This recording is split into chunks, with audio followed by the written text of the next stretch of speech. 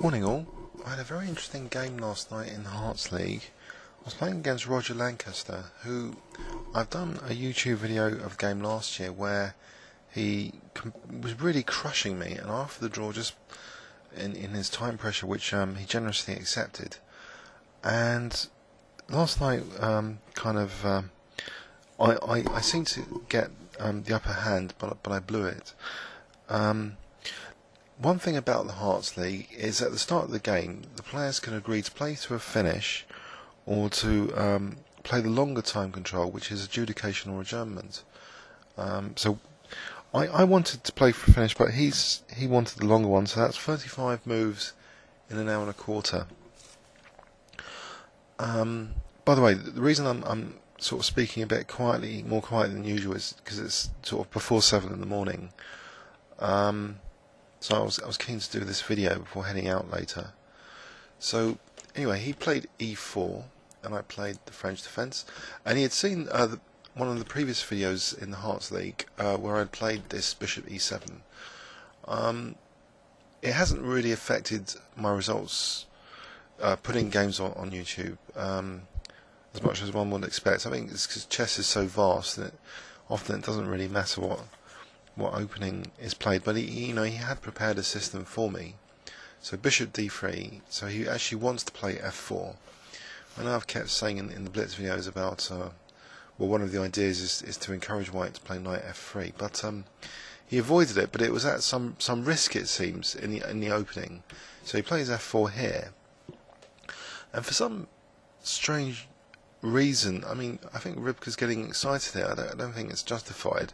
I mean, this is still uh, theoretically okay here for for for White. Uh, so Queen B6, Knight E2. It looks like standard stuff. F6. Um, but now maybe um, he he should just uh, castle. Um, even though that looks as though the diagonal's dangerous. So say he castles uh, if I take maybe he can take with a knight now. Uh, so knight e takes d4 because otherwise there is this tactic on the diagonal. Um, just just to demonstrate that so he takes see knight d takes e5 is to be avoided. I think black is better there. But in this position if uh, knight e takes d4 this should be okay for white or even even better for white you know so I think he, he fluffed up the opening a little bit if this is the case. Now here, knight takes e5. Knight takes. Uh, this apparently is much better for white, even though it, it seems as though black's playing queen d4 and queen e5. But in this position, rook f2, queen e5, bishop f4. Where's the queen moving? So it can't move to d4. It can't take that because of the rook f2 now. So queen e4, bishop 8, bishop g6. Now if queen f6, check, and it looks as though the black king is getting in trouble after bishop d7 takes and queen b3, apparently.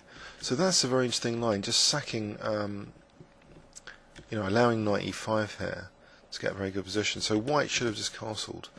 And that's a very important point here, that in, in whatever we've done here, uh, his next move seems an inaccuracy, h4, although it seems highly logical as well, to totally kind of discourage me castling, because a bishop h7s and knight g5s. But that is often, um, you know, that Greek gift is often dependent on the queen coming to h5. And if there's a knight, you know, on e2, that's interrupting the queen coming there.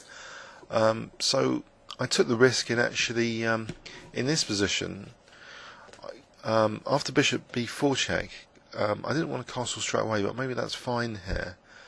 Um, or it's complicated. Queen c2, I, I, don't know actually.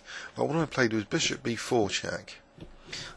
and bishop d2, and I was looking in this position at bishop d2 for a while, and queen b4, and I thought this this might be okay.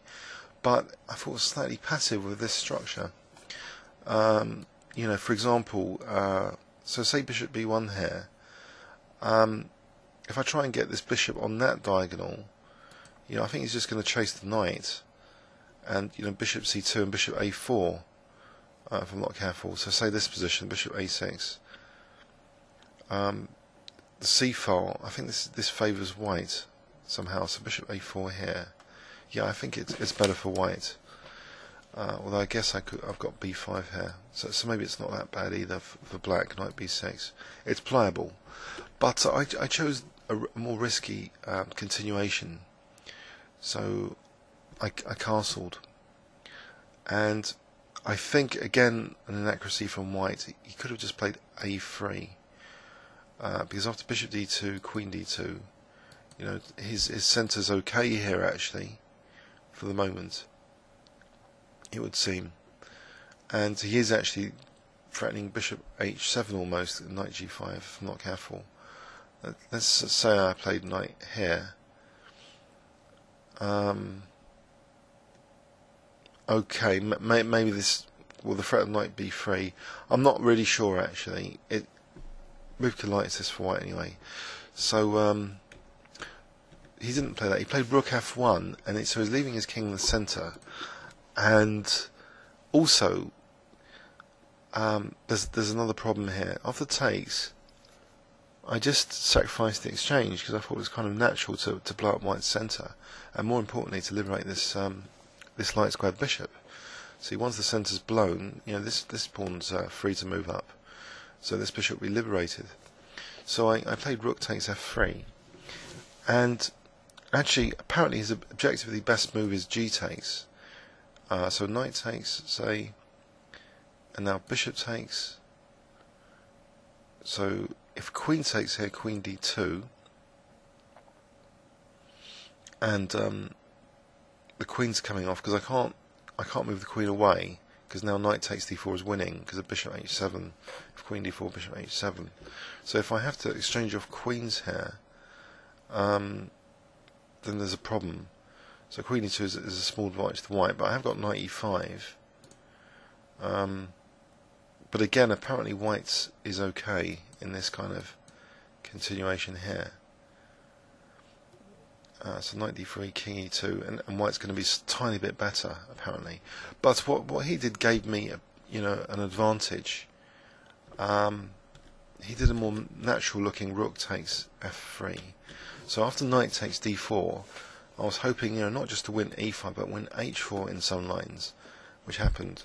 So queen takes, bishop takes, and he plays queen d2, so I win h4. So I'm getting about uh, three pawns for the exchange, as well as a liberated bishop. Um, there's a downside to all this, though. White is going to have a rook coming in on the c file. Um, so he plays queen f2, so I just take the queens off. Um, anything else is not kind of adequate. I was hoping actually for g3 here, because then knight e5. If takes, knight takes f3, full king, king, queen. But uh, we we go to this ending, and uh, you know, according to Rybka, I'm not actually doing that brilliantly. It's like uh, black's up just almost half a pawn, 0.47 or 0.41. It's changing its mind.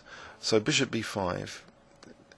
Um, maybe that's not the most accurate move. The king could just you know go to d2, perhaps. Uh, it's, it's you know it's going to be hard for, for black a little bit. Uh, black has to be careful, especially with this c file, you know, and, and you know uh, the retarded kind of development still at the moment. Um, so what he played actually just encouraged uh, a6 and b5, bishop b5, but um, we're approaching move 35 uh, here. Well, I say that actually, we're at move 21. So he's actually got a long way to move 35. He's going to play a lot of moves quickly. So he's almost used his hour and a half, um, hour and a quarter. Um, so I play knight g4 because it still keeps that liberating move e5 on on the go. So bishop a4, b5, and now I I play. Um, I thought my position was sort of difficult actually because I didn't like this rook c1 to c7. I thought if bishop d7 rook c1. I thought if I'm not careful here, I'm going to be in trouble. Um, but you know, maybe this this is fine. Actually, this position, if I've got rook d8. So say here, here. Well, there's either rook d8, um, which may not be that good actually, because rook a7. Um, but in in this position, maybe knight f6. So I think black is, is fighting for an advantage here now. But this this didn't happen. In, in fact, I played a5 because I wanted to chase this bishop off this diagonal so I could play e5 without d5 being a major problem.